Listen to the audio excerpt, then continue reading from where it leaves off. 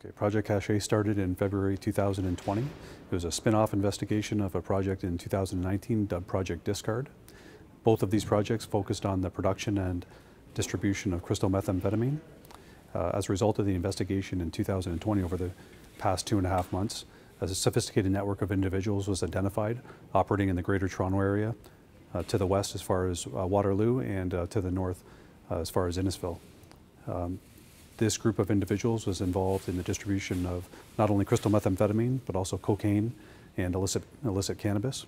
The investigation revealed that they were involved in the production of a, uh, illicit cannabis uh, through an illegal marijuana grow operation. And it's our belief that the production of cannabis in these uh, illegal circumstances was actually funding the network in terms of the distribution of methamphetamine. Uh, ultimately, the investigation uh, came to a conclusion with a number of search warrants being executed across the Greater Toronto Area.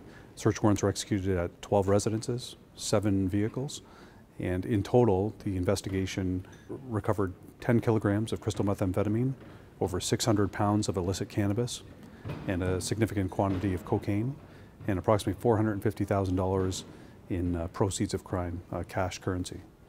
So in total, we've uh, arrested and charged 22 individuals facing a combined 93 criminal charges.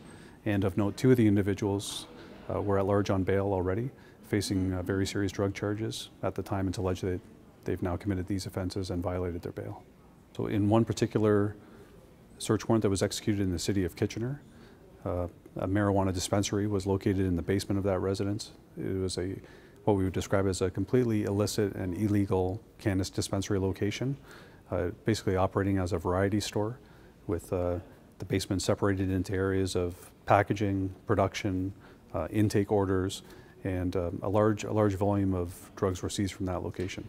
We know that this poses safety risks to, to the community, particularly in a residential area, um, much uh, like other illegal commodities that are being sold in you know, these, these places are subject to be targeted for robberies and other crimes. So um, it's very alarming to have that based in a, based in a home in, in a neighborhood.